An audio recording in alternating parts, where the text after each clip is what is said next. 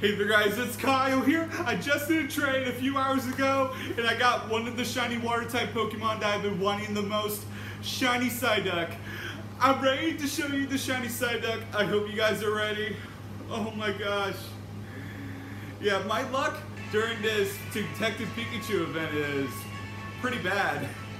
I'm still looking for a shiny Cubone and shiny Aipom, but no luck for me yet. Here's my shiny side Psyduck, guys. My mom encountered this Psyduck, and uh, she knows how bad I want it. So I did a trade with her, and I gave her my uh, Charizard. Not, I, I don't have a shiny Charizard. I just gave her my regular Charizard because I had two of them. So I gave her one of my regular Charizards, so that way I could get this freaking shiny Psyduck.